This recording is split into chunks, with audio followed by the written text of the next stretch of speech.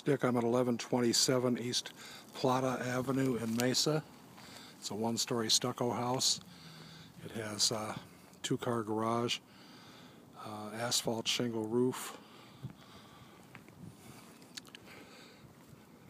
It once had grass and it has a few trees here for landscaping.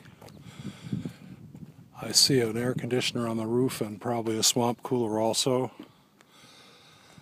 Uh, there's a uh, lockbox on the door. Uh, my guess would be the house is vacant.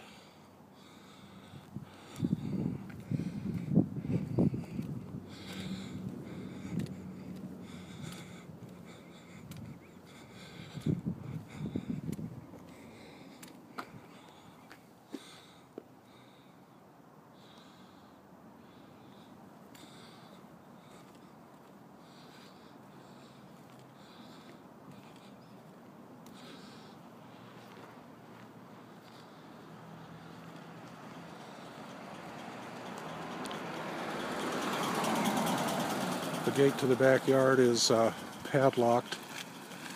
Can't get in there.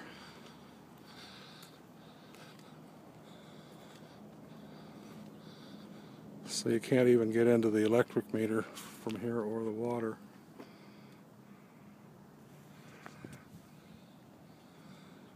The home, the home next door has all kinds of antennas up that might be something for somebody who's thinking of this house to think about.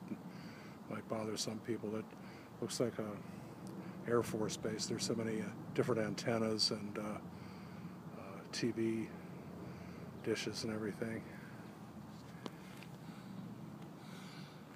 Looks like a quiet neighborhood. The homes I see are uh, well maintained, well landscaped.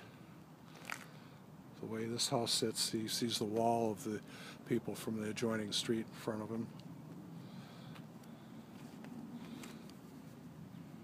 So it's Dick at uh, 1127 East Plata Avenue in Mesa, Arizona.